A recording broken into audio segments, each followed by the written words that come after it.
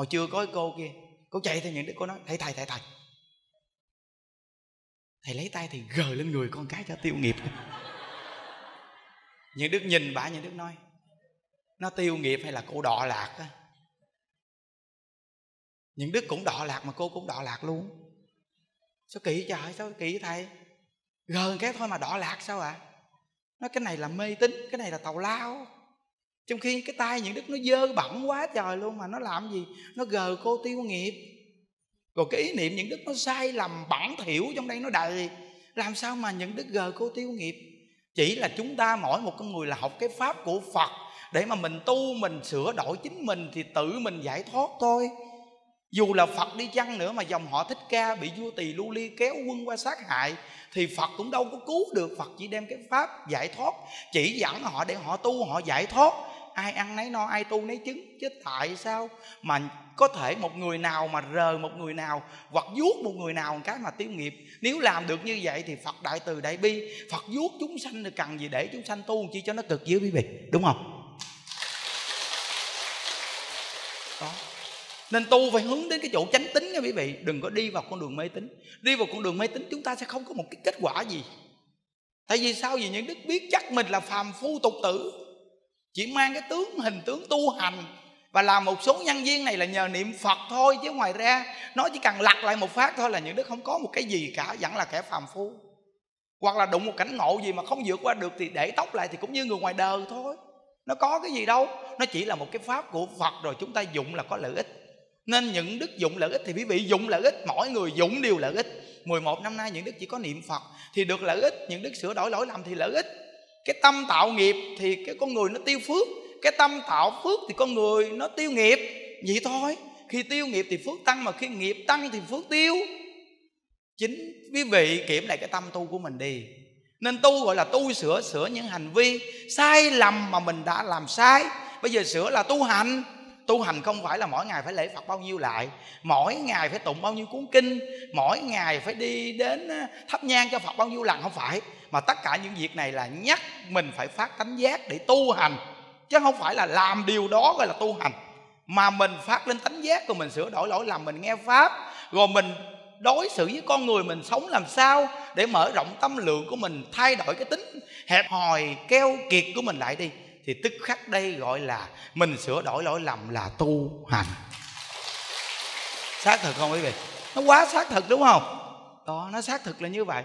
Nên những đức có nói rằng là quan hệ giữa người và người là quan hệ báo ơn, báo quán đòi nợ đâu trả nợ. Báo ơn là do mình đã gây cái nhân của ơn. Bây giờ người ta báo ơn, báo quán là do mình đã gây quán, thì bây giờ người ta đòi nợ. Nếu hiểu được nguyên lý này thì làm sao quý vị đi trách nên đại lão hòa thượng đêm hôm ngài nói rằng, con người là do trách hờn, nên họ không thoát được cái khổ đau con người phải giữ tâm bình khí hòa và tin định lực nhân quả. Mỗi ngày sống cái cuộc đời dù cảnh ngộ sao cũng là an tâm và có thể an lạc được. Như vậy thì mới có cảm ứng với phật bồ tát. Nếu như mỗi ngày quý vị bận tâm lo âu, rầu rĩ, buồn phiền, như vậy thì quý vị có niệm phật, quý vị cũng không cảm ứng được nữa. Cái người mà niệm phật cảm ứng là cái người tâm an lạc. Tâm an lạc niệm cái câu phật hiệu là tần số nó cùng câu thông. Phải nhớ đó thí dụ như bây giờ mình niệm phật, mình cứ nhớ chồng, nhớ vợ, nhớ con, nhớ cháu, nhớ của cải. Vậy thì dù có niệm phật nhiều nhưng nó không có câu thông cùng với đường dây của chư phật bồ tát đâu. Vì tâm mình đâu có thanh tịnh, nó không có cảm ứng được. Nó chỉ được cái phước hữu lậu, mà cái phước hữu lậu nó không có tiêu nghiệp. Phước hữu lậu nó không có tiêu nghiệp. Có những người người ta đi làm phước, người ta tiền bạc, ao ao ao ao đến người ta. Nhưng đó là phước hữu lậu. Phước hữu lậu là quý vị kiểm qua là cái tâm nó không có an còn cái phước vô lậu là mình tu không có cầu cái phước hữu lậu của thế gian này thì tức khắc cái tâm nó mới an. Phải nhớ đó. Nên mình tu hành mình phải hiểu cái tâm giải thoát là cái tâm không có cầu cái ở thế gian, mà cái tâm giải thoát nó lại có được cuộc sống thế gian rất nhiều, mà quý vị không có tình chấp. Như vậy thì cái nội tâm nó mới an. Còn khi quý vị mà cầu cái cuộc sống thế gian của cải vật chất thì tức khắc có rồi quý vị lại bất an có rồi lại sợ mất nên giữ gìn nên bất an. Khi bất an là nó không phải là cái pháp giải thoát. Khi an tâm, nó mới là cái pháp giải thoát. Nên tu hành là nó chuyển lại cái tâm, nó đổi lại cái tâm.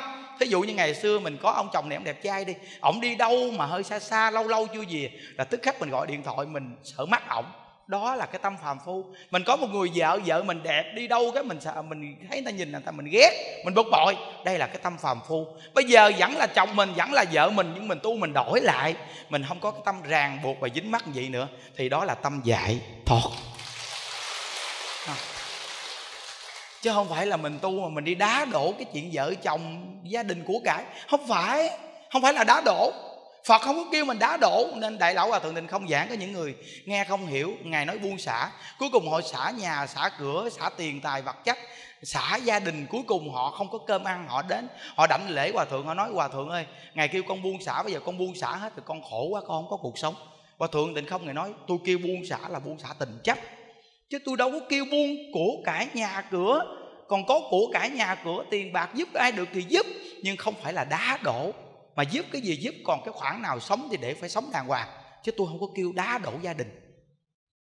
Còn tu hành thì mỗi người có nhân duyên khác nhau. Người thì đủ duyên xuất gia, tu đạo, người thì làm cư sĩ tu hành. Người có nghĩa là nhân duyên nào tu hành theo nhân duyên nấy người buôn bán tu hành theo buôn bán. Người kinh doanh tu hành theo kinh doanh. Người đi làm công tu hành có làm công. Có nghĩa là tất cả nghề nghiệp của cuộc đời này áp dụng phật pháp. Đó là tu hành chứ tôi không có kêu đá đổ cái nhân duyên của mình mà mình chạy đi đi đi tìm đạo ở đâu không phải không? rõ ràng. Nên á, giảng phải giảng rộng ra nếu không là họ nghe đầu này họ làm đầu kia không phải. Nó kỳ cục lắm. Quý vị biết rằng những đức học Phật pháp những đức nói ủa Phật pháp đâu có khó đâu ta. Khó con cái là quý vị nạp vô nhiều thứ quá mà quý vị không làm. Phải chi mà quý vị cứ nạp một môn vô từ từ rồi nó thông được những cái điểm khác. Những đức đi tu là nạp câu ai với Phật nhiều nhất. Nên những đức nạp câu ai với Phật vô hoài vậy mà nó thông những cái thứ khác rồi nó thấy con đường tu mình không có khó. Con đường tu không có khó. Quý vị phải nhớ rằng con đường tu này chỉ cần có cái chuyện là quý vị chấp hay không chấp thôi. Chấp là nó dính ở cõi đời này hoài không thoát được. Mà không chấp mà cầu sanh cực lạc là chấp trì ai di đà phật thì giải thoát. Không môn tịnh độ này đặc biệt là chấp trì ngay câu ai di đà phật này. Nên niệm phật là nhân thành phật là quả như vậy đó. Mỗi ngày cứ tạo cái nhân niệm phật này. Nên á, nguyện thứ 18 phật nêu lên Chúng sanh mười phương nghe danh hiệu ta, Chí tâm tinh ưa niệm danh hiệu ta. Đến khi mệnh chung chỉ cần niệm được từ một niệm cho đến mười niệm, Thì ta là Phật A Di Đà sẽ đến tiếp dẫn người đó về thế giới cực lạc. Nếu người này khi mệnh chung mà niệm từ một niệm đến mười niệm, Muốn giảng sanh mà ta không tiếp dẫn Thì ta sẽ không thành ngôi chánh giác. Ngoại trừ những người tạo tội ngũ nghịch phỉ bán chánh pháp, Người này phỉ bán chánh pháp thì họ đâu có tu. Đúng không quý vị? Thí dụ như bây giờ quý vị biết những người người ta phỉ bán chánh pháp, người ta đâu có chịu tu. Không chịu tu thì sao mà giao cảm với nguyện của phật a di đà mà ngài tiếp dẫn? Tạo tội ngũ nghịch là giết cha, giết mẹ, giết bậc a la hán, phá hoại, hợp tăng, làm thân phật ra máu. Cái người mà tạo nghiệp như vậy thì họ đâu có chịu tu. Không chịu tu thì sao mà được giải thoát? Vậy thì pháp môn tịnh độ này, cái người mà tạo tội ngũ nghịch phỉ bán chánh pháp mà họ đã lỡ làm những điều đó rồi, họ quay đầu họ niệm phật, họ thành tâm sám hối từ hôm nay. Họ quyết tâm họ niệm phật, họ cầu sanh cực lạc, được giảng sanh không? Được. Trong thời đức phật đã có người đó, ai? Vua a xà thế. Có tạo tội ngũ nghịch, bắt gia nhốt cho chết, bắt mẹ nhốt vào lĩnh lãnh cung, kết hợp với đề bà đạt đa phá hoại hợp tăng. Đề bà đạt đa lăn cục đá để mà hại phật. Làm đủ cách lập ra lục quần tỳ kheo để quậy tăng đoàn của phật tạo tội ngũ nghịch phỉ bán chánh pháp. Vậy đó mà vua a xà thế thành tâm sám hối phát lồ sám hối đức phật chỉ cho cái pháp niệm phật ông niệm phật giảng sanh thượng phẩm chung sanh. À, rõ ràng không? À. vậy đó mà đại lão hòa thượng tịnh không ngày giảng thiết ngày nói tạo tội ngũ nghịch phỉ bán chánh pháp còn có thể sám hối. Nhưng có một cái tội trong ngôi tam bảo mà vô cùng là khó cứu. Phật nói phật cứu không nổi người này luôn. Có một tội. Tội gì? Ăn cắp của tam bảo. À, ăn cắp của tam bảo. Thí dụ như cái người đi đến đây tu đi họ là người quy tam bảo họ là người phát lên mình chiếc áo lam. Mà ai ăn cắp tiền của họ là ăn cắp của tam bảo. Rồi ở trong chùa như vậy quý vị vô của chưa cho quý vị tự lấy là ăn cắp của tam bảo. Dù là một cây kim một ngọn cỏ quý vị ăn cắp cũng là ăn cắp của tam bảo. Không có nói nhiều ít chỉ cần có cái tâm ăn cắp là cấp của tam bảo. Nghĩa là cúng dường tam bảo, cái của quý vị ở nhà là của cá nhân. Cái cổ quý vị có chút xíu, nhưng quý vị chỉ cần bỏ vào thùng tam bảo nên những đức khuyên quý vị cúng dường bỏ thùng tam bảo. Đừng có đưa cho ai hết. Đừng có cúng dường mà nói, thầy thầy, con cúng dường cho thầy. Nó không bằng cúng dường cho tam bảo. Vì phật pháp tăng, phật là giác pháp là chánh, tăng là thanh tịnh, chúng ta tu tịnh độ tăng là bồ tát quán thế âm và bồ tát đại thế chi pháp là cái pháp môn tịnh độ. Phật là đức phật a di đà đức bổn sư thích ca mâu ni. Còn bây giờ quý vị biết những đức quý vị cũng kêu là tăng, nhưng mà là hình tướng tăng. Nó chưa có phải là thanh tịnh tăng. Trong phật pháp mà phật pháp tăng là thanh tịnh tăng. Còn nếu đệ tử của đức phật là bậc a la hán là tăng, vì chứng tứ quả là tăng. Những đức chưa phải là nằm cái dạng tăng đó, nó là vẫn còn là phàm tăng những đức là phạm tăng vì chưa chứng quả là phạm tăng nên quý vị cầm tiền đưa cho những đức là không có công đức bằng là quý vị đem bỏ vào thùng tam bảo nếu như những đức cầm tiền quý vị mà làm điều đúng đắn thì có thể được nhờ nhưng nếu làm điều sai quấy thì những đức phải chịu cái nhân quả đó còn quý vị thì không đến nổi còn nếu như quý vị mà gặp một người quý vị mến mộ quý vị đưa tiền bạc quý vị lo quý vị cung phụng bằng cái cái tâm ái nhiễm thì định lực nhân quả quý vị phải chịu vì quý vị, hộ trì mà không gốc độ, không trí tuệ? Một vị tăng trẻ chưa có tu hành nhiều mà quý vị phụng dưỡng, lo lắng cho họ nhiều quá bằng cái tâm thương yêu, quý, cảm mến, chứ không phải là cái tâm kính trọng, không phải. Có những người người ta người ta mà gọi là giống như người ta làm cái việc mà hộ trì người xuất gia nhưng mà do cái tâm quý mến để hộ trì, khác nghe nó còn bà hàng quán trưởng, bà hộ trì và thượng tịnh không là bằng tâm cung kính đạo mà hộ trì. Khác hoàn toàn. Bây giờ kiếm đâu ra một người mà hộ trì như bà hàng quán trưởng. Nên bây giờ mà nói là người xuất gia mình để cho người nữ mà hộ trì nguy hiểm lắm. Đừng có đừng có như vậy, mất công quá đi. Thà mình có ít ăn ít, có nhiều ăn nhiều, mình sống lai rai nó khỏe hơn là để cho người ta mà mà lo lắng hộ trì cho mình mà có khi người ta xỏ mũi mình ta quay vòng vòng tại vì hiếm kiếm ra một người tu hành chân chính lắm, để biết cái cách hộ trì lắm. Ngày xưa tu đạt đa cái hộ trì cho đức phật ít bao giờ mà đến gặp đức phật vì sợ người ta dị nghị. Người ta nói rằng để tu đạt đa đó cúng dường kỳ viên đồ cho đức phật. Bây giờ rồi đến gặp đức phật ờ, thường xuyên như vậy, tu đạt đa sợ người ta dị nghị nên không bao giờ dám đến gặp đức phật nhiều. Cái tâm hộ trì tam bảo nó đặc biệt lắm quý vị à cái đó là bậc bồ tát, người ta hiểu đạo, người ta hộ trì. Còn bây giờ kiếm đâu ra cái người hộ trì như vậy? Nên chùa của mình những đức đưa lên quy định trong nhà bếp, không có ai đến nấu ăn. Đi đến đây chỉ lo tu, không có đụng vô cái trong nhà bếp. Còn tất cả ở trong đây là những đức quy định, là đồ đạc gì, là mua, là là trang trải cuộc sống là những đức sắp xếp hết. Chứ không có một phật tử nào nói là con mua cái gì, con gì, mỗi tháng con gỡ cho thầy diện diện gì thôi khỏi đi. Cần cúng thì cứ cúng, đừng có nói dòng do gì mấy cái chuyện nó mệt lắm. Nó dính vô, nó phiền phức lắm hoặc là để cho người ta tu đến, người ta tu đi, đừng có cho người ta đi vô trong cái chùa mà người ta làm ngành này, ngành kia. Hoặc là người ta lo chuyện này, chuyện kia trong chùa, ngộ lắm.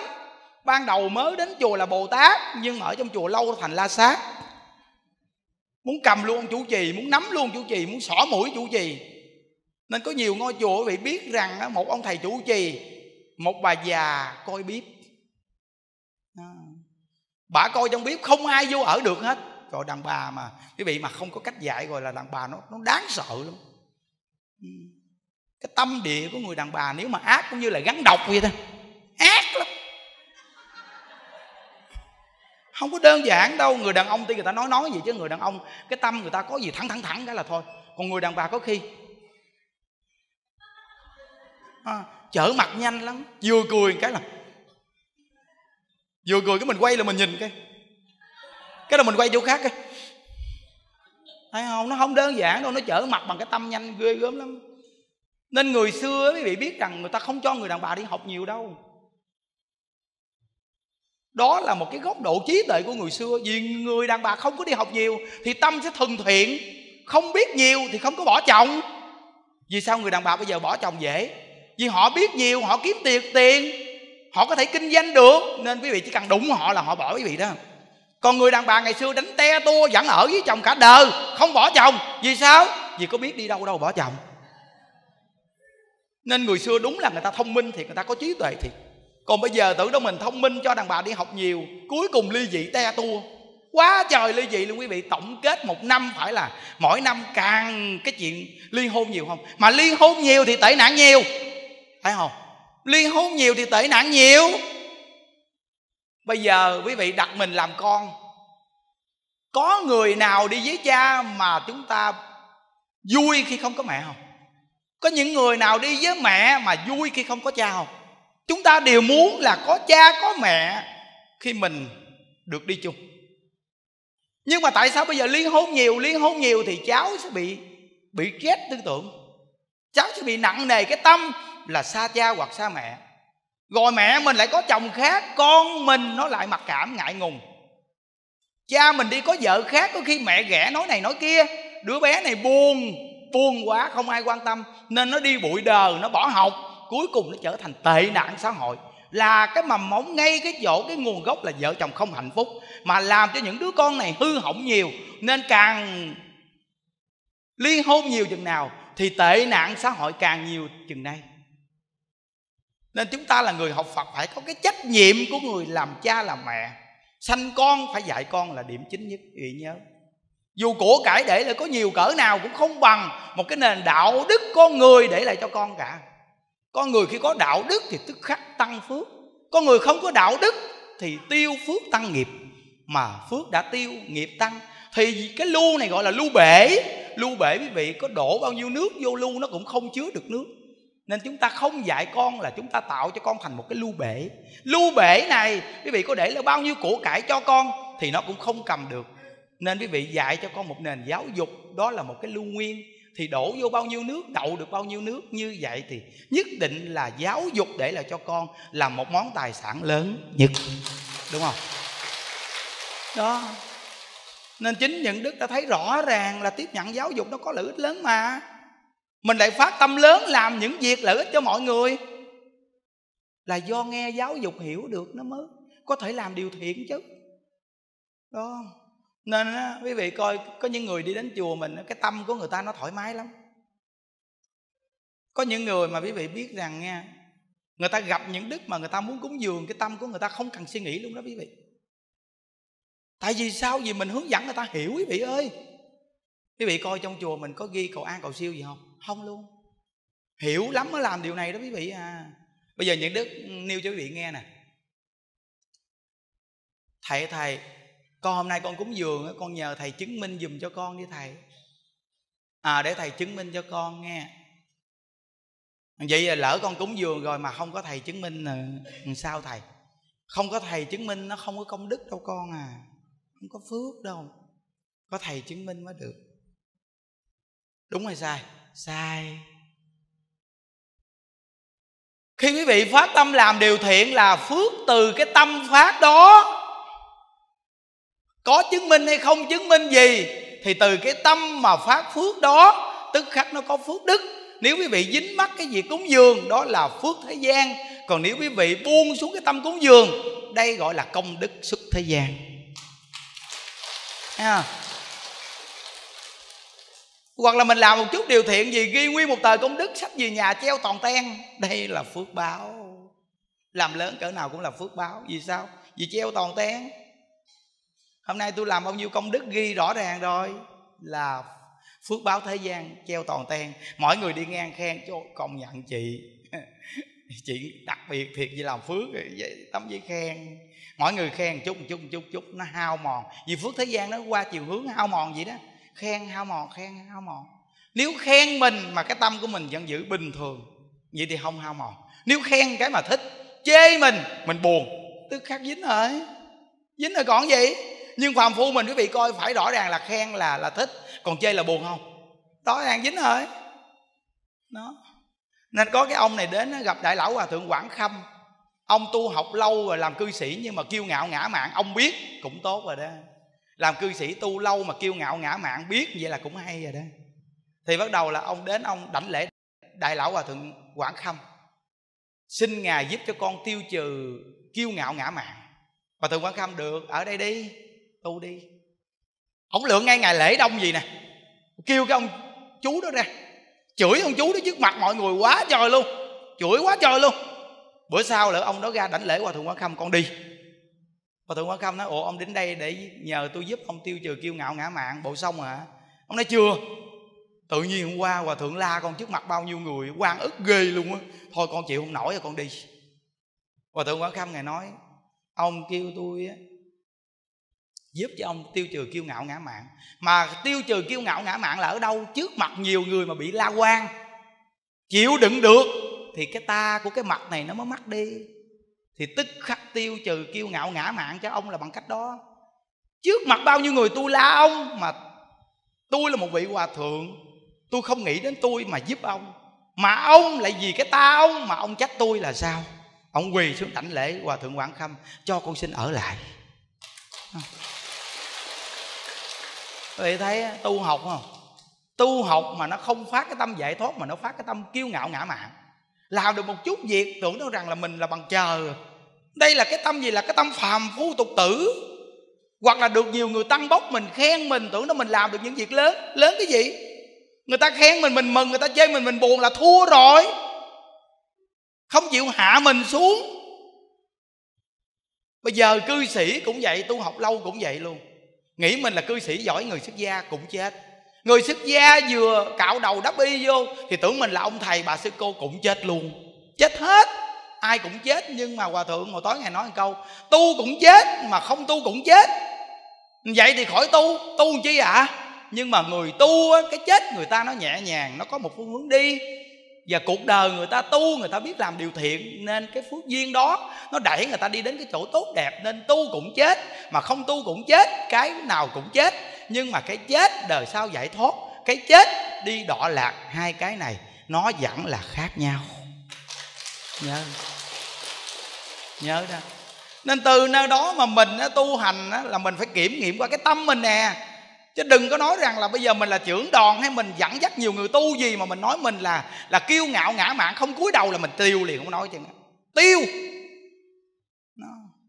Nên mà gọi là, nên ai gặp những đức mà người ta tưởng đâu, những đức cái gì mà cao siêu quá này nọ, nói chuyện nhiều người nghe, không phải đâu quý vị à chỉ cần quý vị chịu niệm phật và chân thật gầy dựng trong vòng 5 năm thôi là có người nghe, quý vị không nói chứ.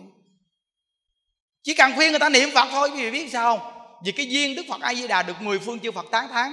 Nên quý vị niệm a di đà phật thì được mười phương chư phật tán thán. Cái nhân duyên mà niệm phật đó nó có liền, không nói chứ. Mà người ta thấy quý vị niệm phật, quý vị hướng người ta niệm phật, từ từ cái duyên nó kết. Rồi người ta nghe quý vị à, chứ không có hay hoi chứ. Chỉ có niệm phật thôi. Chứ nếu như quý vị nói, bây giờ tôi làm được những việc này, tôi làm rồi đó, tôi làm rồi đó vậy là cái ngã nổi lên liền, nói chứ. Cái ngã nổi lên liền. Thí dụ như bây giờ làm chồng ở trong nhà đi, kiếm tiền gì thấy vợ ở nhà chỉ có à, sanh con, nuôi con ở nhà không, đi làm, lúc nào có tiền đem về để đưa tiền cho vợ. Bắt đầu là có khi hành học, nói này nói nọ đồ. À, bà ở nhà không à không có tôi cái nhà này chết à. không có tôi là cái nhà này chết liền bà làm được cái trò chống gì rằng bà không có làm được trò chống gì. Mình nói vậy là mình sai rồi đó ông sanh con được không? Ông có sanh được đứa nào không? Rồi nhà cửa ai lao? Con ai nuôi? Nếu không có người lo cho ông những việc này, ông bình yên, ông lo đi làm ăn không? Mỗi người việc chứ. Thí dụ như bây giờ mình là chồng đúng là một người chồng gương mẫu là nó phải là như vậy nè mình là người đàn ông có thể tất cả những việc nhà việc gì mình cũng làm được, không phải nói rằng là mình là đàn ông mấy cái việc mà giặt đồ cho vợ không giặt được tầm bậy. Vợ giặt đồ cho mình được thì mình giặt đồ cho vợ được chứ. Làm cái gì mà gọi là đàn ông không giặt đồ cho vợ được? Nói đàn ông mà giặt đồ cho vợ là hàng, làm gì hàng? Tôi giặt đồ cho vợ, tôi cô giặt đồ cho vợ, ông sao hàng? Tôi cảm ơn vợ tôi tôi sống với vợ tôi tôi biết cách nói chuyện. Tôi thương bà không phải vì tôi thương cái tình cảm yêu thương mà mà cái chuyện chăn gói đó đâu. Nhưng mà tôi quý trọng bà là gì bà sanh con cực khổ. Bà lo cho gia đình này, tôi kính trọng nên lúc lu bu, có thể đồ của bà bỏ ra tôi cũng giặt luôn. Người đàn bà đó kính đàn ông liền có gì đâu. Kính là họ biết người đàn ông này, họ không có mê muội vào cái sắc đẹp đó, mà họ sống có cái nghĩa tình, nên người đàn bà nó kính. Hiểu không? Trời ơi, mình phải hiểu cái cách làm của mình, chứ đâu phải nói rằng là mình giặt đồ cho vợ là hàng người ta kính trọng mình đó. Thí dụ như mình đi làm về mình ỉ mình đem tiền về cái mình nằm đó. Em pha ly cà phê coi. Cái này nó pha nhưng mà nó xem thường mình lắm á. Tại vì sao? Mình không có hiểu. Người ta ở nhà cũng mệt mình thích uống cà phê mình vô mình pha cà phê mình uống à. Còn lúc nào mà khách khứa gì thì người ta mới pha. Vậy thì người ta hiểu rằng là mình không có dùng cái cái cái danh của người chồng mà mà mà mà, mà mình áp đặt người ta. Không phải gì vậy thì người ta mới kính mình, vợ chồng như vậy nó mới hạnh phúc. Nó có sự tôn trọng lẫn nhau. Nó không có nghĩ ai lép hơn ai chứ. Đã là vợ chồng mà lép cái gì quý vị? Mình hơn vợ để làm gì mà vợ hơn mình để làm gì? Bà muốn hơn tôi thì hơn. Bà hơn được tôi cái gì? Bà hơn được tôi không? Suy nghĩ đi. À. nên mấy ông đàn ông hiểu được là sẽ biết liền gì đâu. Bà hơn được tôi cái gì? Tôi cho bà hơn tôi đó. nói vậy mấy ông hiểu không? Nó rồi mấy bà biết không? Trời ơi! Mình mà hiểu rồi tức khắc, cái cách giải quyết của vấn đề của mình là đặc biệt, tại vì sao? Vì nó nằm trong tầm tay của mình. Mình là người đàn ông, cái tư duy phải rộng. Vậy thì mình không có sợ rằng là mình lép cái đàn bà chứ. Tại vì cái tư duy mình hẹp quá nên cuối cùng mình mới nghĩ mình mình sợ người ta cười là mình lép hơn vợ, tầm bậy. Chấp nhận lép hơn vợ miễn gia đình hạnh phúc rồi thôi. Nhưng mà cái nào rõ ràng, cái này nói một tiếng nghiêm túc là vợ nghe liền không nói chừng thí dụ như giờ trong chùa này việc gì những đức làm không được. Việc trong chùa này việc gì những đức làm cũng được hết trơn ha lo lắng cho mấy cô mấy chú mấy cụ đồ từng ly từng tí. Nhiệt tình không có nói gì lúc dễ dễ tính vô cùng. Không có cầu người ta cung kính mình gì chứ. Nhưng mà lúc nghiêm túc nói một câu rõ ràng ra một cái là im re. Không có nói vòng vo gì chứ ha à, còn cái lúc nào bình thường kệ không có sao không quan trọng nhưng cái lúc gì cần giải quyết vấn đề nói một phát một thôi là phải nghe hết á. Nó nói dòng do chứ. Đố mà những đức hợp mà có ai dám ý kiến tầm bậy lên á. Đố mà dám á. Nó rõ ràng không? Nhưng mà lúc bình thường rất là dễ tính. Đi đổ rác, đi làm những chuyện vệ sinh xung quanh chùa sạch sẽ, gọn gàng nó bình thường gì đâu. Vậy thì mình người đàn ông, mình đi làm về cực, mình cứ thấy vợ làm không kịp ở trong bếp, cứ nhảy vô bếp bưng cơm đồ ra. Rồi mình thấy vợ giặt đồ không kịp, mình giặt đồ phụ. Cái tình cảm đó nó hâm nóng hoài sao mà vợ chồng xa nhau? Chứ mình đừng có ỷ bây giờ tôi là đàn ông nè đi làm gì nằm nhịp chân đồ hút thuốc phì phà ly cà phê coi coi bấm tivi coi đá banh đồ chơi coi. Tôi làm cực muốn chết mà bà ở nhà việc nhà việc nhỏ thôi. Cái này là cái cái, cái góc độ tư duy kém. Mình có sanh được đứa con nào không? Mình có mang nặng đẻ đau trong bụng mà mà mà chín tháng 10 ngày cái bụng trình bình đi. Ệ ệ ệ ệ mình có làm điều đó chưa? Mấy ông thử mà lấy cái gói, cái mền gì, mấy ông bỏ vô cái bụng mấy ông. Rồi mấy ông buộc lại một cục đó. Hai tháng mấy ông sách đi đi tối ngày ngoài đường thử coi mấy ông sẽ biết. Người đàn bà người ta mang thai khổ sao, gì đâu. Hiểu được rồi sẽ thương vợ chứ có gì đâu. Tự nhiên mình tôn trọng, mình thương người ta thì người ta quý mình cái gì đâu. Người ta quý kính. Khi người ta quý kính mình rồi, người ta muốn lo cho mình mà người ta muốn lo dữ lắm mà mình còn không muốn cho người ta lo nữa. Chứ đừng có nói mà đi cầu người ta lo cho mình. Người ta muốn lo cho mình mà mình không cho lo kìa quý vị coi trong chùa những đức nhiệt tình lo cho chúng á, mấy cô, mấy chú, ai cũng muốn lo cho những đức cả. Mấy cô lo lễ lộc mà muốn nấu ăn, những đức ăn, muốn pha nước, những đức uống mà những đức không chịu uống, không chịu ăn. Nghĩa là người ta đã quý trọng rồi, là người ta muốn lo như vậy đó. Người nào cũng muốn lo cả.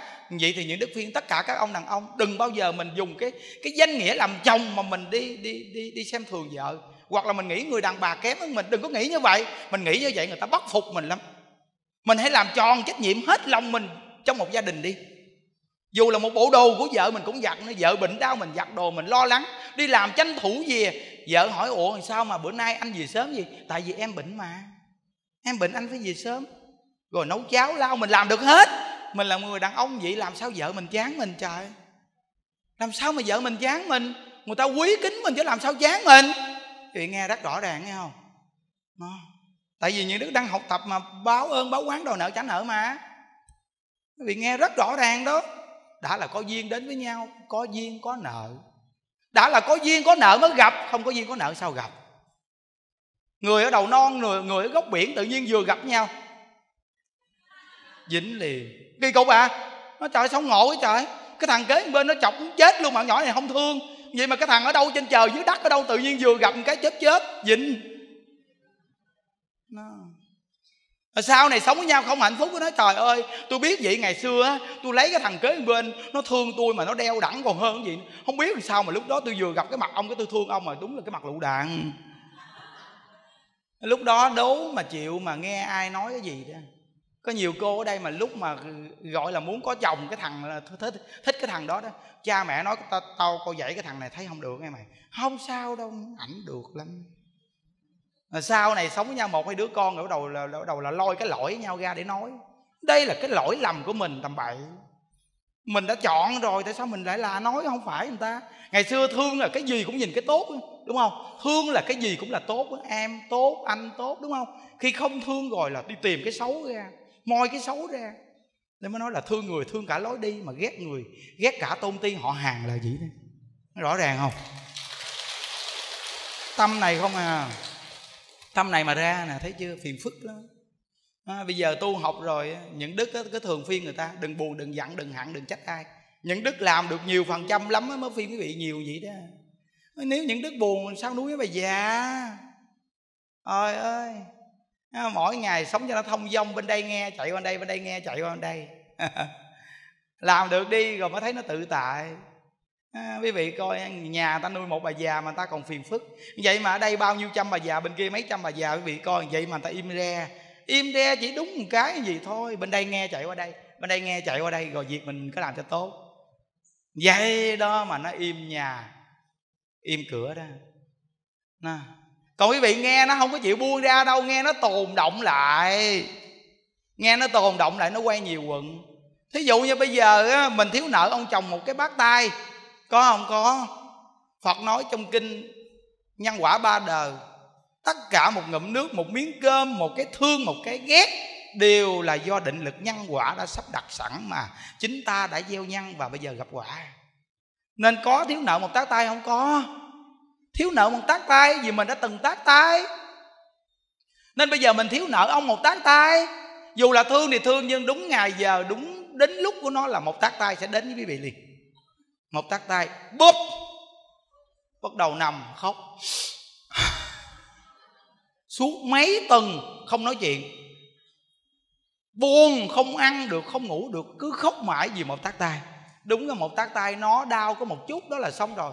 Nhưng do đem để vào trong tâm để quay nhiều quận, để thấy cái tác tay quýnh liên tục. Giống như một mũi tên bắn trúng mình nhưng mà mình tiếp tục buồn vì cái mũi tên đó nên bắn liên tục từng mũi tên mà bắn trúng chúng ta. Bây giờ chúng ta tu học rồi, một tác tay đã qua rồi, cho qua đi. Cái người đàn ông quý vị kích động vào tâm họ nặng đạn nhất là ngay chỗ nào?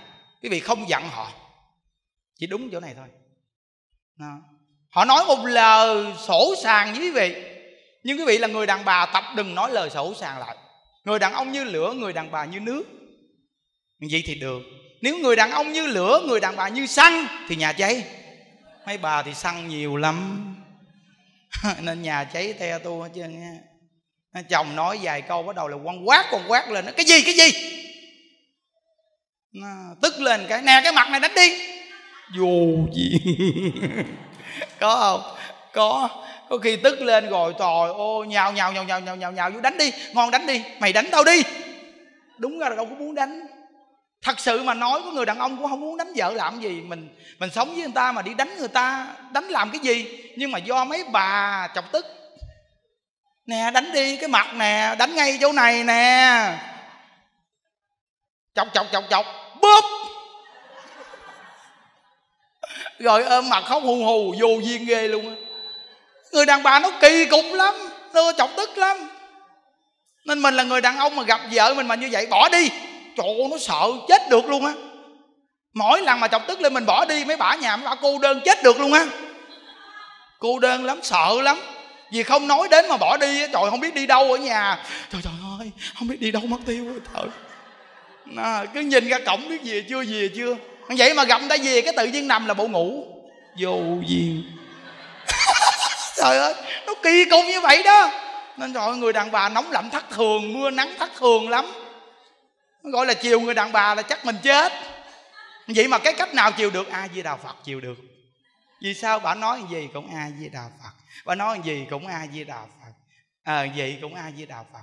Nhưng mà cái lúc cần nói mình nói vài câu bà nghe lắm nghe. Đàn bà nó ngộ lắm. Cần nói vài câu lúc cần nói là nghe lắm nghe. Đàn bà đàn ông gì? Lúc bên cạnh nhau mà nói chuyện nghe lắm. Mình lựa những lời đặc biệt nhất đi đừng có nói cái lúc mà nó ồn náo lu bu cái lúc mà trầm tĩnh nhất á quý vị chọn lúc nào trầm tĩnh nhất?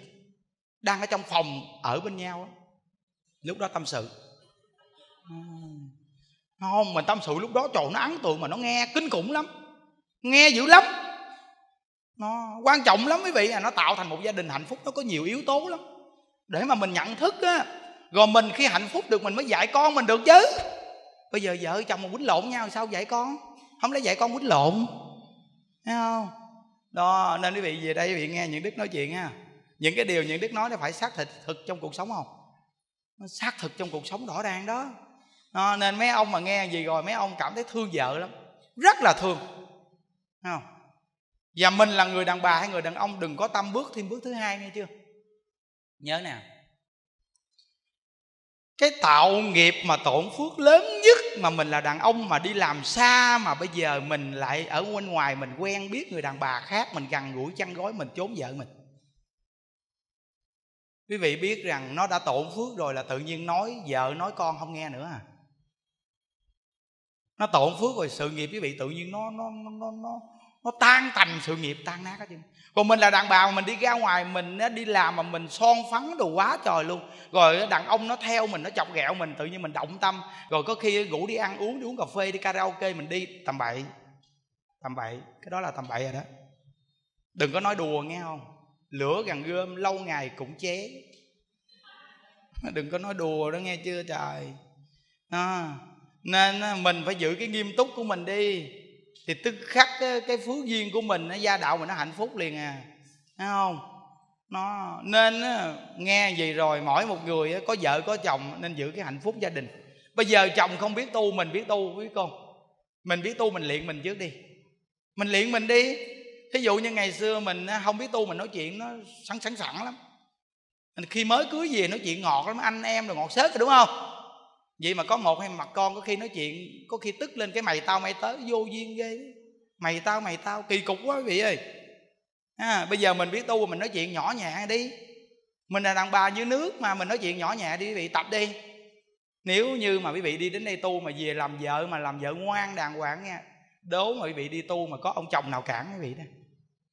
Có ông chồng nào cản đó còn cái kiểu á mà đi đến đây chỉ có thích chùa này mà không chịu đem cái cái đạo pháp để áp dụng trong gia đình mình mà cứ là muốn phóng đi đến chùa này không thì tức khắc ông chồng cản liền.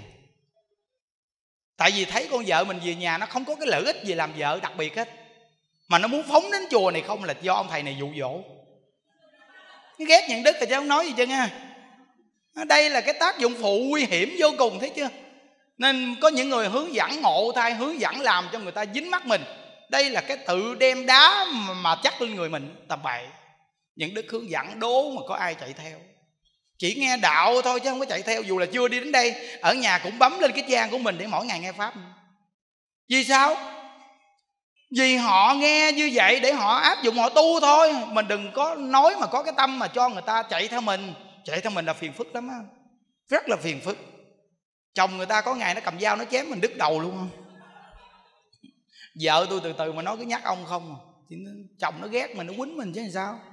Hiểu không? Mình phiên vợ người ta thương người ta, chung thủy với người ta đi. Ông chồng ông nghe ông cũng thích nữa, đúng không? Ai mà không thích vậy? Chứ gặp mà bây giờ vợ mình mà tối ngày nó cứ nhắc ông thầy thầy gì thầy gì? Thầy nói chuyện vui ghê, nói chuyện nhỏ nhẹ, thoải mái ghê. Tôi về tôi gặp cái mặt ông này thấy mắt ghét. Thì tức khắc ông chồng cũng phản cảm với mình chứ làm sao? Còn bây giờ vợ người ta đến đây học đạo về, nói chuyện với người ta đàng hoàng, nhịn người ta, nhẵn, không có nói chuyện hỗn ẩu nhất là mình đàn bà nghe, kiểu mà chửi con mà chửi những cái câu này tội nặng lắm cái mặt mày giống thằng cha mày quá à. mặt mày giống thằng cha mày ghê luôn cái mặt mày chưa phải là giống cha mày không, mà giống ông nội mày rồi nói những cái câu này nó tội nặng, đừng có nói nữa. Nhất là mấy bà dưới quê ưa dùng những câu này. Thành thị thì dùng trong nhà, ra đường thì làm bộ là trí thức mà. Đâu có dùng, nhưng mà vô nhà dùng vô nhà lại chửi á. Còn dưới quê là chơi xả láng ngoài đường luôn. Nói chuyện tầm bậy tầm bạ luôn. Nói chuyện hỗn ẩu nói chuyện tông tiểu. Có không có đó. Hồi xưa dưới quê mà những đứa gặp có nhiều bà nói chuyện tục tiểu lắm. Nó chửi con mà chửi mặt mà giống thằng cha mày quá à. đúng rồi. Cái mặt nó mà không giống thằng cha, chắc cô cũng sưng mỏ à. nó mà biết trả lời, nó nói đúng rồi. Cha với mẹ sống với nhau sanh con mà kêu con không giống cha con mà không giống cha là mẹ bị đánh theo tua. Mẹ nói đúng rồi đó. Nó rồi thằng cha thì chửi, mặt mày giống con gái mẹ mày quá, chửi vô duyên. Nó rồi chửi lên bên ngoại nữa, ngộ ghê luôn á. Đàn bà thì chửi bên nội, còn đàn ông thì chửi bên ngoại. Lãng không? Cuối cùng đứa con trước giữa, đứa con cũng không biết xử lý làm sao nữa. Trời ơi gì mẹ mình chửi bên nội, ba mình chửi bên ngoại, vậy mình chửi ai đây? Mình chửi ông bà nó, quý vị thấy chưa? Báo ơn, báo quán đòi nợ trả nợ, thấy chưa, quý vị? Đừng có chửi con tầm bậy như vậy, nghe chưa? Nó, nên mình nghe đạo đức giáo dục rồi mình phải chỉnh lại đi. Đừng có dùng những cái văn tự mà để chửi hai bên, cha mẹ hai bên. Mình là vợ chồng đến với nhau là tôn trọng cha mẹ hai bên, chứ làm gì chửi cha mẹ hai bên? Muốn gây dựng một gia đình hạnh phúc thì cặp vợ chồng này phải bổ túc được cha mẹ hai bên. Cha mẹ hai bên là một cái nguồn gốc để cho cặp vợ chồng này có thể hạnh phúc dài lâu. Nếu cặp vợ chồng này chỉ có biết làm ăn kiếm tiền mà không biết bổ túc gì chữ hiếu, đối với cha mẹ hai bên thì đôi vợ chồng này rất dễ chia tay. Vì nó không bổ túc cái nguồn gốc đối với cha mẹ hai bên thì nó không có cái cánh để mình chịu. Nên khi đụng chuyện một cái là hai vợ chồng chia tay ly dị liền, không nói chứ. Người ta cũng không đụng vô luôn. Còn mình á, hiếu với cha mẹ hai bên thì có cái gì còn người lớn ra mặt đó là nguồn gốc mà. Thí dụ như bây giờ mình thương chồng là nhờ cha mẹ bên chồng nuôi chồng khôn lớn để có chồng cho mình thương. Mình thương vợ thì nhờ cha mẹ, vợ, nuôi vợ mà có vợ hôm nay mình thương, được thương. Nên mình dù cỡ nào một năm cũng hai ba lần dẫn con về bên nội, về bên ngoại để con mình biết được nguồn gốc rõ ràng. Như vậy thì chúng ta mới cấm được cái gốc mà hiếu đạo như vậy thì gia đình mình mới có thể có được hạnh phúc. Đúng không? Rõ ràng đừng có bỏ cái chuyện này nghe chưa quý vị? Đừng có bỏ cái chuyện này. Ờ, rồi có nhiều bà trời ơi khi mà lúc còn con gái thì ăn diện đồ quá trời mà gọn ghẽ khi mà có chồng mà có một đứa con một cái mấy bà bày hầy có những bà bày hầy dữ lắm luôn. Nó, rồi ôi cái chuyện mà những đức mà ngày xưa mà dưới quê mà thấy mà mà cái kiểu mà đang ngồi ngoài chợ hay ngồi ngoài đường hay ngồi gì ở trong nhà mà ngay cái cửa nhà mà tự nhiên con khóc cái tự nhiên cái dạch cái vú ra cho con bú cái này là nó quá bày hầy luôn dù là mình người đàn bà đã có con rồi, nhưng mà cái chuyện cho bú đó mình phải kỹ lưỡng. Vô phòng hay ngồi chỗ nào, quay vào chỗ nào cho nó kỹ lưỡng đàng hoàng. Chứ không phải là mình dạch ra trước mặt bao nhiêu người. Trong nhà mình vẫn còn cha hoặc là anh, em, bên bên chồng. Mình phải kỹ lưỡng cái chỗ này chứ. Mà người đàn bà như vậy nó bày hầy thì người đàn ông nó cũng dễ bỏ mình người đàn bà dù xấu mà nó gọn ghẽ thì người đàn ông người ta cũng mến mộ thương yêu dù là mình tu thì tu, đừng có diễn quá đáng. Gọn thì phải cần gọn, chứ có nhiều bà tu buông xả rồi, thầy. Con giờ con buông xả rồi, tóc tay bùm xùm với con ma với chồng con bỏ con luôn rồi. Thua rồi. Buông xả là buông xả cái tình chấp, ai kêu quý vị, mặt mày tèm nhem tút chuốt như con mèo. Không ai kêu như vậy đâu quý vị à. Nhớ đó, những đức nói rất là rõ ràng. Nên mình là người đàn bà nó phải gọn ghẽ. Nó có một lần những đức nói ôi, có những bà đi đến chùa tu hành gì đâu mà bay hay bể sể. Đi vô chùa cho vậy nó không có hay ho gì đâu. Mình là người đàn bà, dù là ăn, ngồi, nằm, đứng gì nó cũng phải gọn ghẽ. Mình phải tập. Thí dụ như mình đừng có nghĩ rằng bây giờ mình có chồng rồi, nằm tạm phà, tắt vét, nằm ngủ. Mình ở ngoài đời mình ngủ, mình có cái mền, mình che ngang cái bụng mình.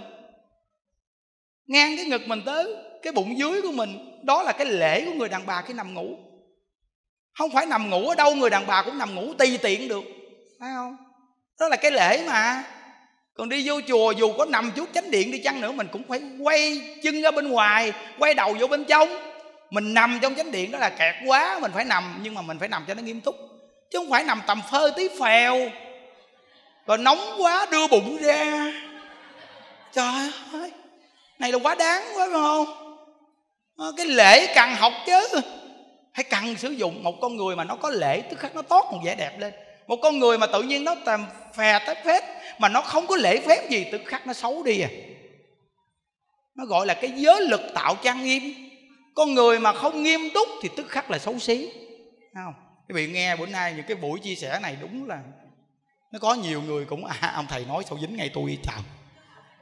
Nó mình là người đàn bà có khi mình ngồi á, trước mặt đàn ông không phải là mình ngồi theo mùa nước lũ nghe chưa? Ai đau chân thì cứ thẳng chân ra đi. Cho thẳng chân đó. Thấy không? Thẳng chân ra so chân đi. Đó.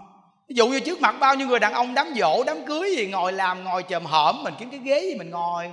Hoặc là mình ngồi xuống mình xếp bằng đại một chút đi. Chứ đừng có cái kiểu mà trước mặt đàn ông mà ngồi chồm hởm mùa nước lũ. Trời ơi. Không? Ngồi mùa nước lũ biết không? Đó. Nó có nghĩa là mình chỉ cần kỹ lưỡng một chút thì tức khắc nó tốt cái vẻ đẹp của người đàn bà liền nói chứ. Dù cho là chồng mình đi chăng nữa mà không có được, lúc nào anh cũng thương em tùy tiện đâu. Lúc nào cũng thương em, muốn thương ở đâu là thương, không có được đâu nghe. Phải giữ cái sĩ diện cho nhau chứ. Heo mình là đàn bà, vậy đàn ông trời nó kính mến dữ lắm luôn. Chứ không phải rằng là bây giờ mình làm vợ rồi, ở đâu cũng cho hung hết trơn á mình phải nói chồng mình chứ. Anh à không có được như vậy, vợ chồng là cả đời. Chứ đâu phải một ngày, một bữa như ngoài chợ đâu. Mà tự nhiên ở đâu anh cũng muốn hung là hung kỳ cục như vậy. Còn chạy xe ra đường thì mình là, dù là vợ chồng nhưng mà nó phải nghiêm túc. Chứ không phải chạy xe ngoài đường rồi đưa tay cho chồng đồ nắm, đồ vuốt ve chạy trên xe, nó té xe có ngày gãy gãy cú cổ mà chết. Trời ơi, cái gì nó cũng phải rõ ràng nơi nào ra, nơi nấy chứ. Mình đàn bà mình chỉnh người đàn ông, nhưng người đàn ông nó sợ mình lắm tại vì mình kỹ quá, mình có sự tôn trọng chứ. Thấy không? Còn cái lúc nào thương thì cho thương. Còn cái lúc nào mà có trước mặt bao nhiêu người là không có được tầm bậy. Chứ không phải là vợ chồng mà gọi là đi làm, cái chạy vô anh hung cái đi làm. Vô duyên học thêm phương tây hả? Cái phương nó đừng có học, theo má công nó đi. Mình làm vậy viết nó ngán lắm, cái nụ hung mình, trời, nó chán cái mặt của bà. Không đi ra chỗ khác, nó hung cái gì? Mệt chết, hung hoài chán, muốn chết luôn. Đúng không? Còn mình nó về giặt một chút thì người ta không hoài, người ta cũng không chán nữa. Nó, nên chứ đừng bao giờ nói rằng bây giờ có chồng rồi bày hầy mình mẩy hôi hám không tắm rửa. Trời ơi, trời chắc chết quá. Nó đi ra ngoài, nó nói chuyện với mấy con nhỏ bán quán cà phê sao thơm phức rồi, nó ham. Cuối cùng nó bỏ mình là do chính cái hành động mình, không biết cách để giữ chồng. Dù là mình có chồng rồi, mình cũng phải gọn ghẽ, sạch sẽ, đừng có quá đáng thôi. Nghe không? Cả ngày làm việc thì làm việc, đi về nhà một cái là sạch sẽ, người đồ đạc bộ đồ nào bạn ngủ là bạn ngủ sạch sẽ. Gọn ghẽ, chứ không phải là đi làm gì rồi tầm phơ tí phèo, rồi không tắm mình mãi dít dịch nằm kế chồng chồng nó thấy hôi hám, nó gớm. Cuối cùng nó lỡ người ta thơm, nó thích, nó bỏ mình, hiểu không? Đây là những cái điều mà cái lễ phép khi con người sống với con người mà cung kính đó quý vị. Cung kính là như vậy đó cả người đàn ông mình cũng vậy nữa chứ đừng có nghĩ rằng sống với vợ quen rồi bây giờ mình bày hày ăn nhậu vô ói mửa rồi hòa hơ gớm nó, mình biết cái hơi của mình chứ. Nó, nên từ nơi đó mình phải biết như vậy thì mình sống đặc biệt lắm. Thí dụ như giờ mình nói chuyện đi mình đưa cái miệng mình sát cái mặt người ta coi cũng không được. Nó lâu lâu những đức nhờ mấy chú ré tụ tay dùm những đức không dám thở. Sợ cái hơi của mình nó hôi thúi rồi sao? Ai biết được nên không dám thở. Lâu lâu quay qua chỗ khác thở một cái rồi nín. Rồi móc lỗ tai một chút đi xíu một chút mà không dám vì sợ thở vô mặt người ta sợ người ta hôi thì sao? Cái tâm như vậy đó. À, mình phải tập như vậy đó quý vị. Những đứa cũng 40 tuổi rồi bộ còn trẻ gì nữa đâu. Nó nên phải tập như vậy đó là cái lễ đó. Nó rồi người đồ nó phải sạch sẽ. Đàn ông cũng vậy nữa thì tức khắc giữa vợ chồng sống nó có một cái lễ kính với nhau đặc biệt lắm quý vị. Sống hạnh phúc đặc biệt lắm. Tóc tai, râu ria đồ mình phải cạo cho sạch.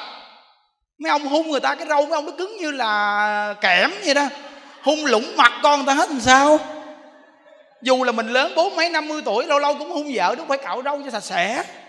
Thấy không? Đi ngủ phải đánh răng đồ sạch sẽ. Vậy đó. Tao, trời nói này kỹ quá, trời, còn hơn mẹ vậy con. Nghe ở dưới không biết trong lòng cảm giác làm sao. Quá kỹ luôn quý vị, thấy không? Nó như vậy thì quý vị mới thấy được rằng là chúng ta có nhiều cái lỗi lầm mà tại sao gia đình không hạnh phúc. Chứ đúng ra là sống với nhau vợ chồng là hạnh phúc chứ sao mà không hạnh phúc được. Nó có nhiều cái mà chúng ta cứ bỏ bê, bậy bạ mà chúng ta nghĩ rằng nó là đơn giản nhưng không ngờ nó là những việc rất quan trọng của cuộc đời con người quý vị rất là quan trọng. Nó nên niệm phật giảng sanh là phải giảng sanh thôi. Nhưng con người, đang sống với con người nên chúng ta phải sống làm sao cho nó đặc biệt để người ta thấy mình học phật càng học nó không phải đi vào tiêu cực. Học phật làm sao đi vào tiêu cực? Phật pháp đi vượt qua thời đại mà. Khi á mà cái sự phát triển của xã hội về khoa học chưa phát triển là đức phật đã biết rõ về phát triển của khoa học bây giờ sao sao hết rồi. Nên chúng ta mới nói là phật pháp á, đi vượt qua thời đại. Nhưng quý vị học phật mà chúng ta bị tiêu cực là thua rồi quý vị.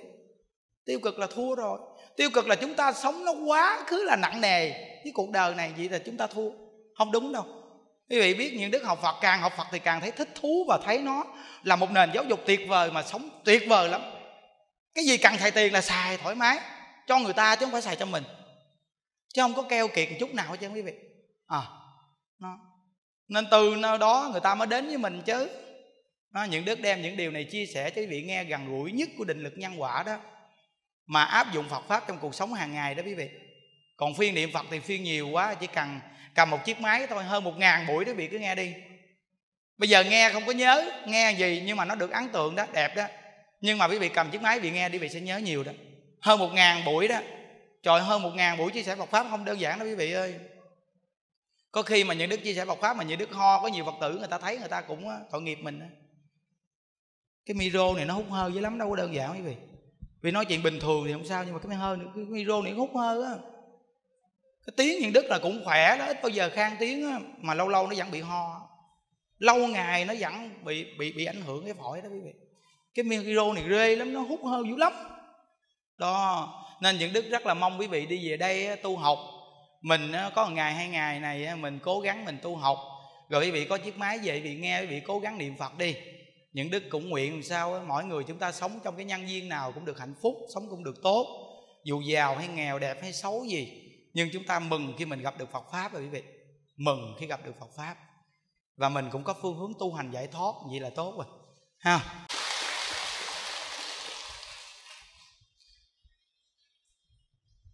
À, đây là những đoạn văn mà những đức à, đọc được trong lời chư tổ sư dạy khi chúng ta đọc lên để học tập, thì mỗi một người mình tu hành cái định lực nhân quả mình tin nó hay lắm.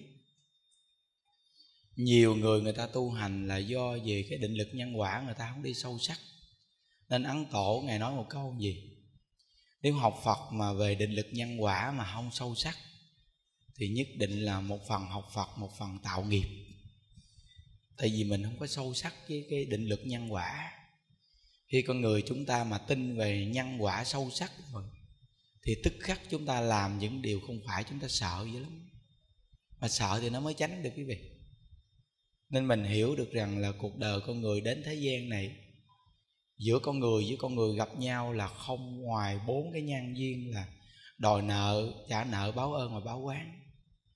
Thí dụ như chúng ta ngồi đông ở đây là gì, có những người tự nhiên người ta gặp mình ta thấy thích mình lắm có những người ta gặp mình ta không thích.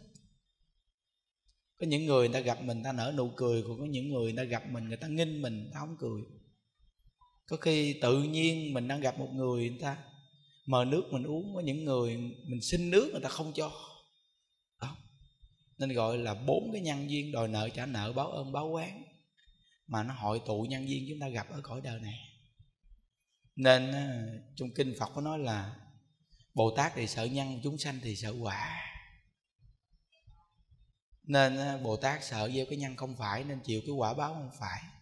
Còn phàm phu chúng ta thì quả báo đến rồi mới kêu gào, khóc lóc. Thí dụ như bây giờ ở miền ngoài có nhiều tỉnh thành người ta khổ vô cùng. Những đức thấy rằng là nước nó ngập lên tới lóc nhà. Đi cứu chợ thấy người ta dở ngói lên, người ta đưa đồ ăn xuống. Ta khổ vậy quý vị biết rằng khổ quá làm sao mà tu. Quý vị kêu người ta đến một cái đạo tràng niệm phật, bây giờ gia đình người ta không có cơm gạo nấu thì sao? Người ta chịu đi đến đây để người ta nghe pháp, người ta niệm phật. Trong lòng người ta nghe pháp, niệm phật mà người ta cứ nghĩ gia đình bây giờ không có cơm gạo ăn. Khổ quá, không thể nào tu, mà giàu quá, sung sướng quá. Giàu quá, sung sướng quá thì hưởng thụ, cũng không chịu tu luôn. Vì sung sướng quá đi tu làm gì? Nên cái người tu là người chung chung có những người người ta giàu nhưng người ta đủ phước, đủ duyên, người ta cũng tu. Có những người ta nghèo cùng cực nhưng đủ duyên, đủ phước cũng tu. Nhưng mà cái mặt chung chung là có thể tu được. Chung chung là tu được. Nên nó tại sao mà đức phật thị hiện ở cái cõi đời này? Vì cõi đời này có nhiều người khổ nên đức phật mới đem cái giáo pháp giải thoát, nói người ta nghe. Chứ đức phật không có sanh ở cái cõi chờ cõi chờ người ta sung sướng quá. Nên có khi đức phật nói cái pháp giải thoát người ta không nghe người ta đang sung sướng quá mà bây giờ nói người ta giải thoát cái gì? Người ta nghĩ người ta đang giải thoát rồi mà nói giải thoát làm chi nữa? Nên sanh ở cõi người cõi người nó có những cái giai cấp trong cái thời ấn độ đó đó. Có nhiều giai cấp người ta khổ, người ta đàn áp với nhau nặng nề. Nên đức phật mới nói cái pháp giải thoát, nói cái pháp công bằng. Người ta nghe, người ta tiếp nhận. Mà đức phật lại sanh trong cái dòng tộc vua chúa, có quy quyền. Mà đức phật buông xuống, đức phật tu hành thì mới nói người ta được. Chứ nếu như đức phật mà sanh trong cái dòng thủ đà la. Đức phật nói người ta không nghe.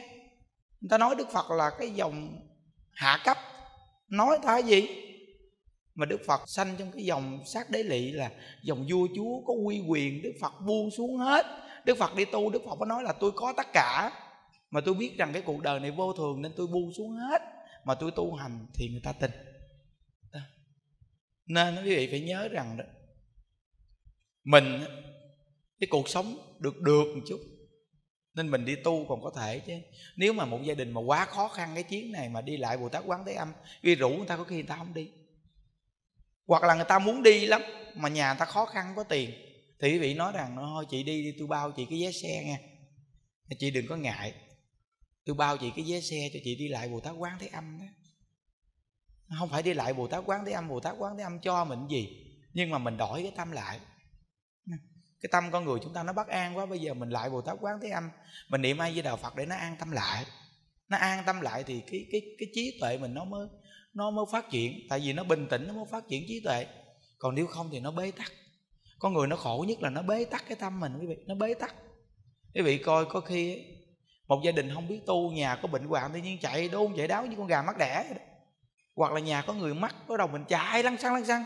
Mình không biết bắt nguồn từ cái đầu chỗ nào để mình làm đó là nó quản trí mình, nó không có làm được cái gì chứ. Nên con người cần là bình tĩnh quý vị nó bình tĩnh nó mới giải quyết được vấn đề. Thí dụ như mình chưa từng gặp người bệnh, người chết nhiều, mình gặp cái mình sợ lắm. Mình không có giải quyết được vấn đề gì. Còn ở chùa làm hoài, nên khi người bệnh cái tự nhiên vừa gặp cái bình tĩnh, mình kêu, thôi bây giờ sắp xếp gì gì gì gì? Rồi bắt đầu người ta mắc cái đầu, tập trung niệm phật cho người ta, bình tĩnh niệm phật niệm phật niệm phật, từng từng nhóm từng nhóm người vô niệm phật cho người ta nghĩa là nó rất là bình tĩnh khi nó bình tĩnh, nó mới giải quyết được vấn đề quý vị phải nhớ rằng là cái cõi đời này không có cái gì mà mình không giải quyết được chỉ có cái là mình không bình tĩnh, mình không có giải quyết được vấn đề thôi thật sự mà nói cái nghèo đến mức cùng cực cũng, quý vị chưa thấy ai mà nói cái việc mà nghèo mà đói chết ấy. Không? nghèo đói chết không thấy, ít lắm cái việc mà nghèo đói chết quý vị thấy ít vô cùng dù có nghèo nghèo chứ không có chuyện mà đói chết đâu quý vị à tại vì con người nó nhiều con người nó nó chung tay không người này giúp cũng người kia giúp mà.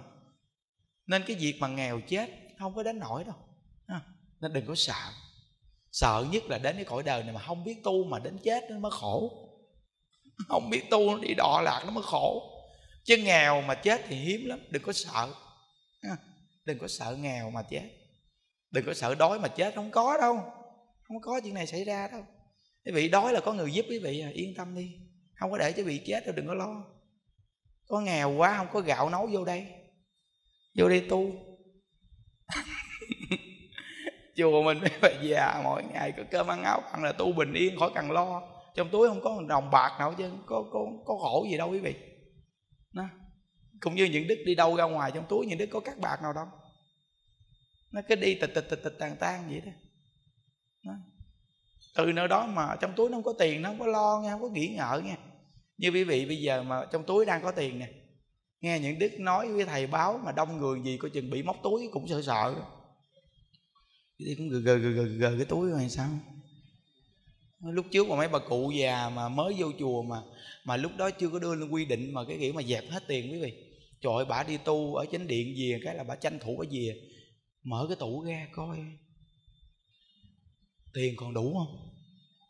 Nên kinh nghiệm từ từ từ từ từ từ mới gọt gọt gọt gọt gọt mới dẹp hết. Mấy bà già mới tu được cái trời.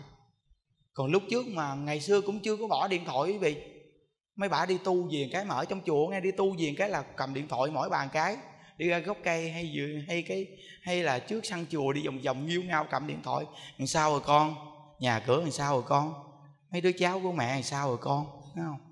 Cuối cùng mình đi vòng vòng mình thấy mình nghe mình mình để chú ý mình quan tâm mình cứ gọt từ từ từ từ từ từ từ từ từ, từ gọt hết trơn. Đó đâu có nghĩa là từng công đoạn công đoạn mới thấy ra mới làm được. Rồi quý vị biết rằng là lúc trước nha chùa mình có một cái tủ thuốc quý vị. Sáng nào cũng hai ba chục bà mấy bạn mấy bà kéo qua mấy bà khám bệnh suốt. Hai ba chục hai ba chục bà bà làm hoài.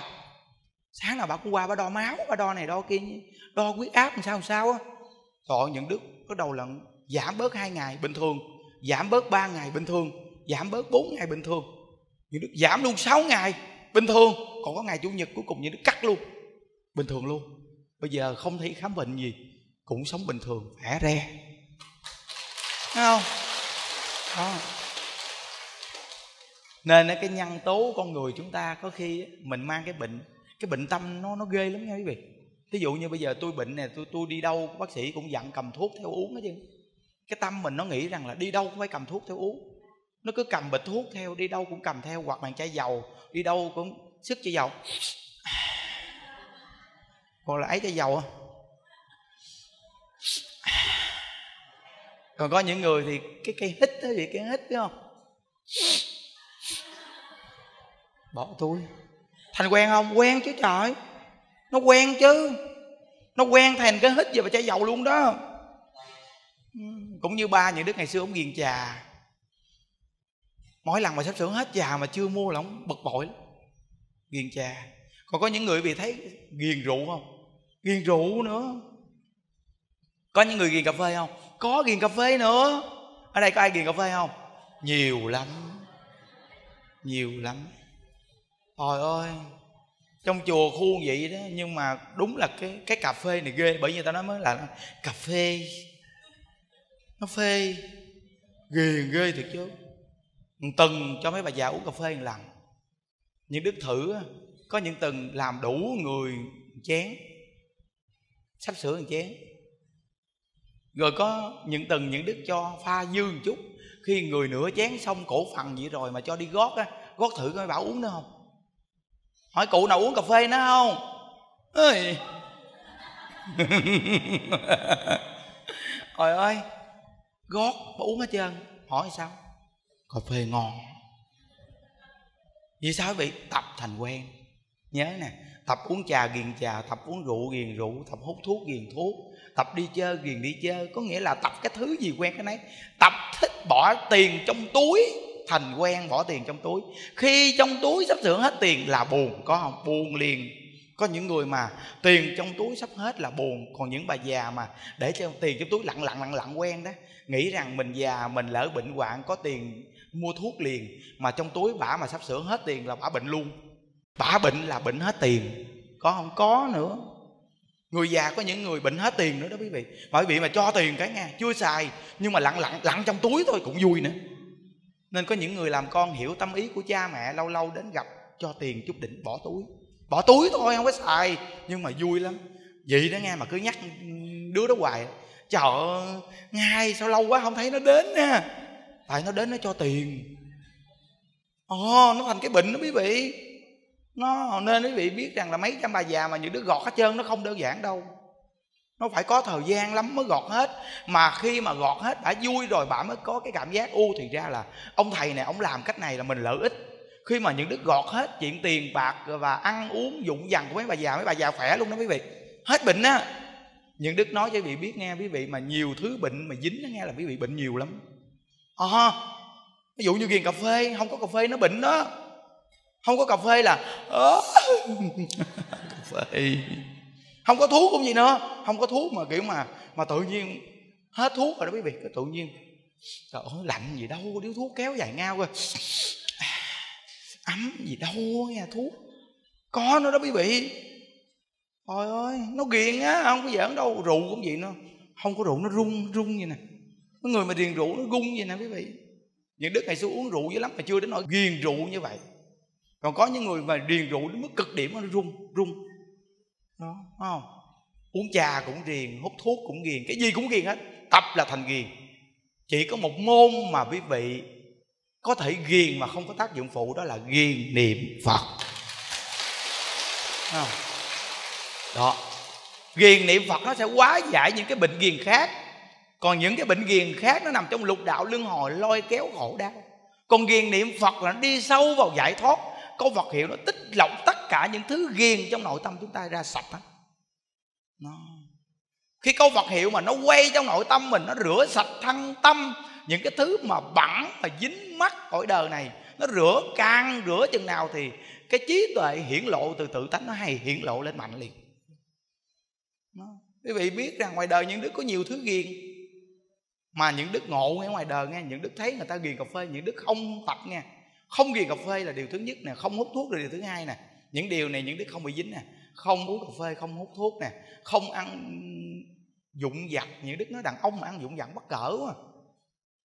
Ăn mà cái kiểu mà cõi ổi, cốc rồi rồi bánh ngọt đồ, những đức nói đàn ông mà ăn gì nó kỳ cục vậy lắm riêng những đức những đức nghĩ vậy nên những đức không có tập ăn vậy.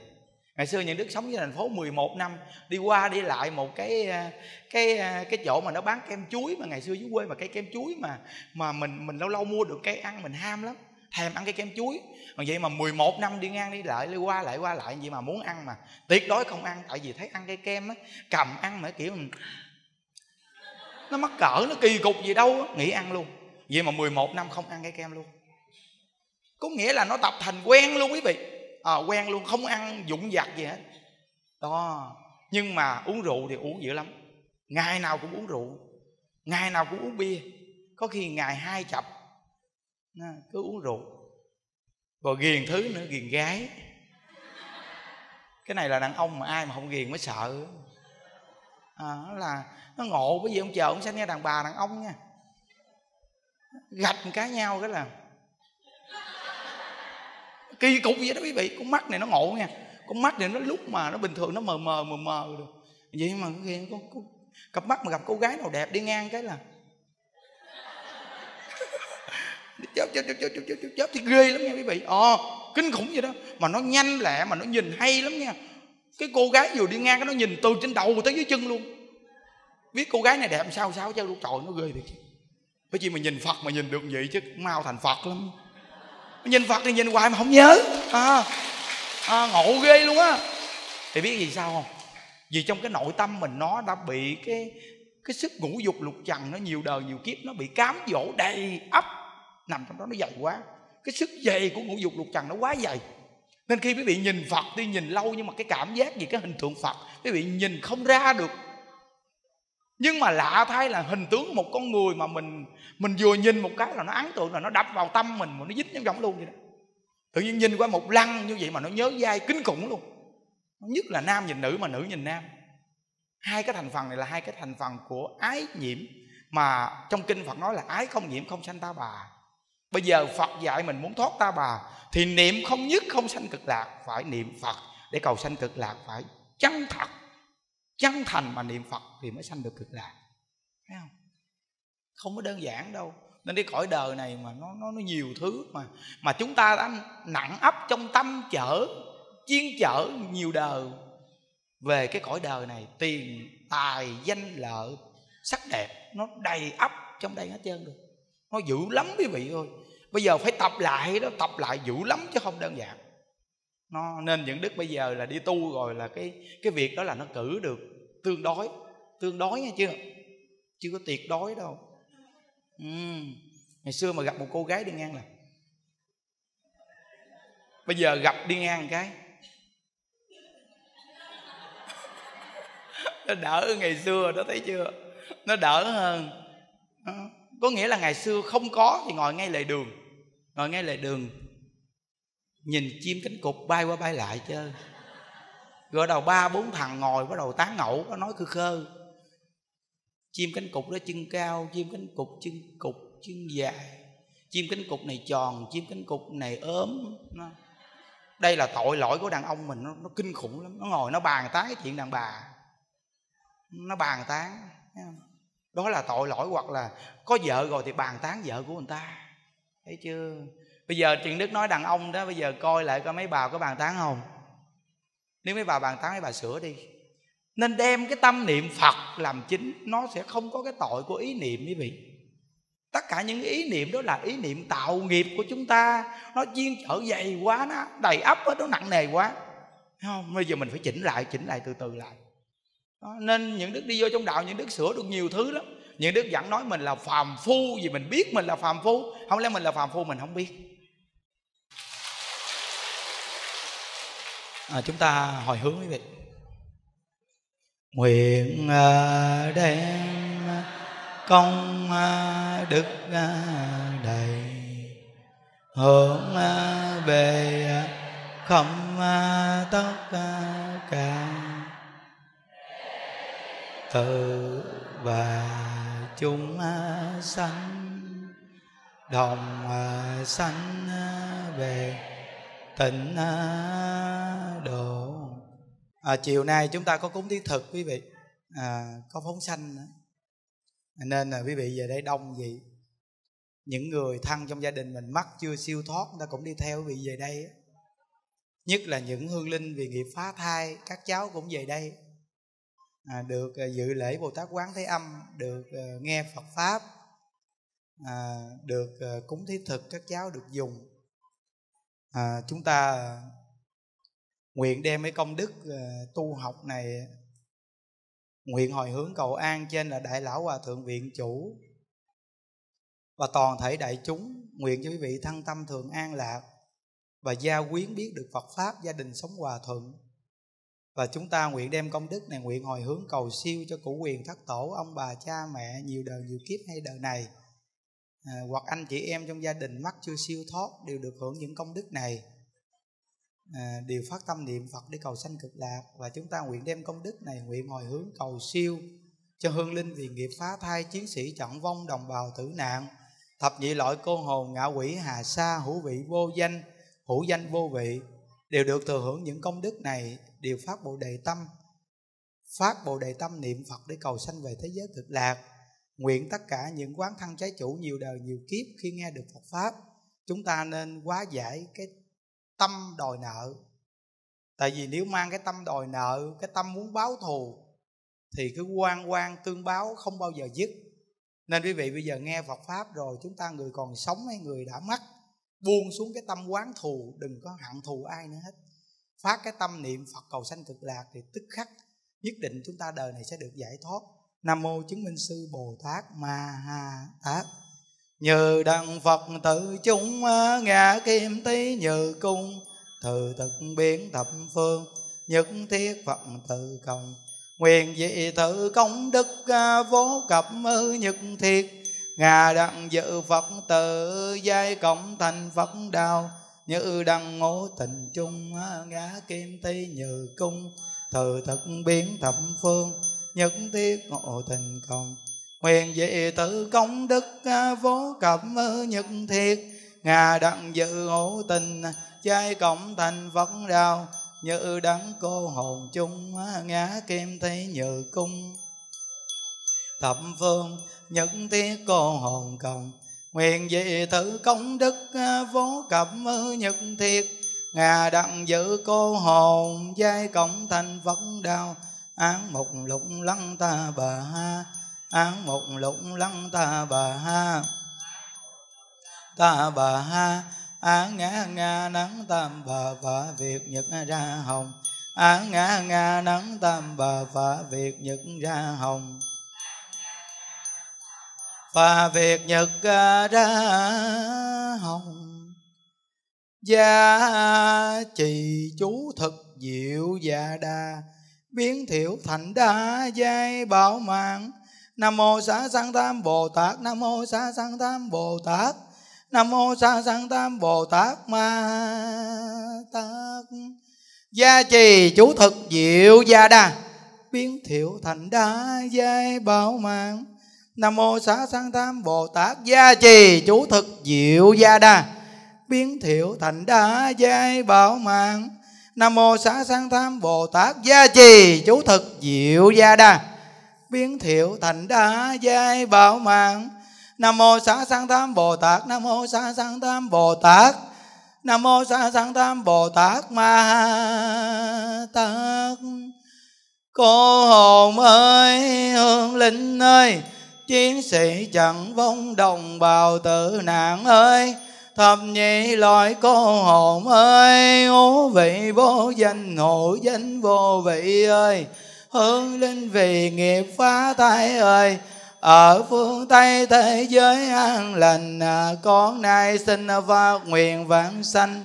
Cối xin đức từ bi tiếp độ, nam mô tây phương cực lạc.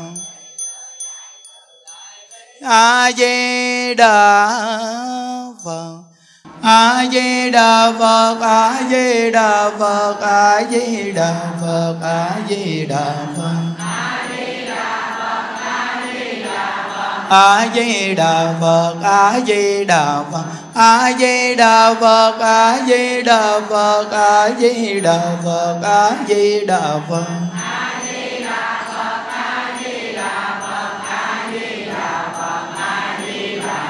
a di đà phật a di đà phật a di đà phật a di đà phật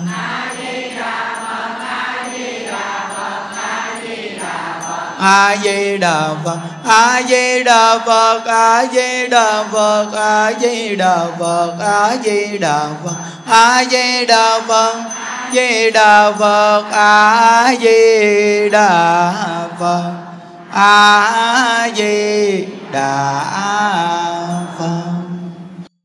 À, chúng ta về chùa mình cầu siêu cầu, cầu an đều là hồi hướng chung hết nha quý vị. Nếu đọc thì nhiều lắm nên chùa mình thì hồi hướng chung nó thù thắng. Nếu như đọc tên người này mà không đọc người kia người ta cũng buồn ha. Nên vậy nó viên mãn. À, chúng ta làm lễ phóng sanh tiếp tục nè.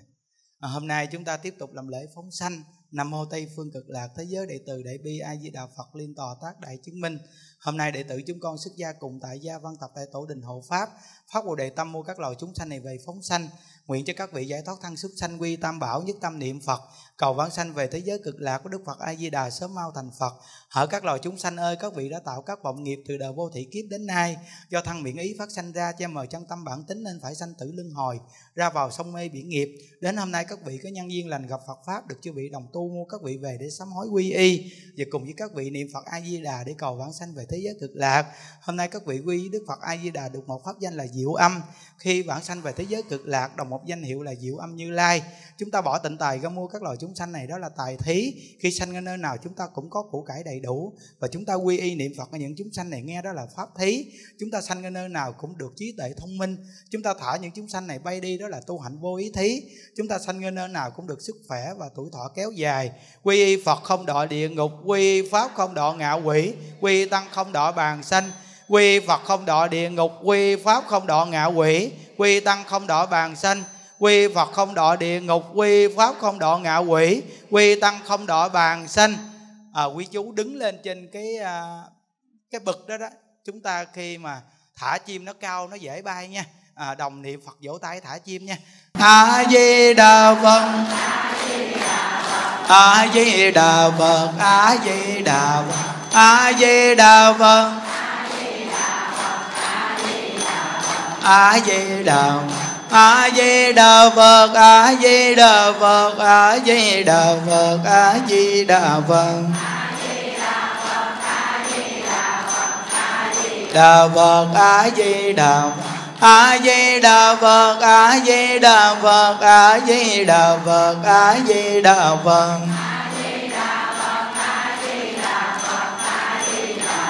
a di đà phật a di đà phật a di đà phật a di đà phật a di đà phật.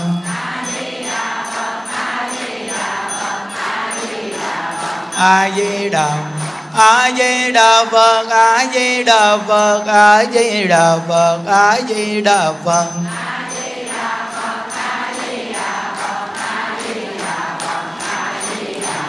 a di đà phật a di đà phật a di đà phật, a di đà phật a di đà phật a di đà phật a di đà phật a di đà phật a di đà phật a di đà phật nguyện đem công đức này hướng về công tất cả đệ tử và chúng sanh đồng sanh về tịnh độ.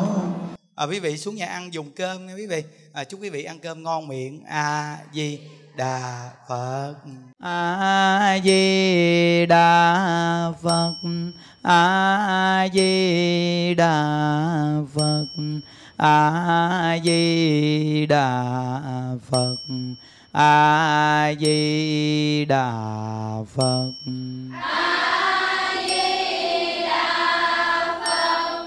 A di đà phật a di đà phật a di đà phật a di đà phật a di đà a di đà phật.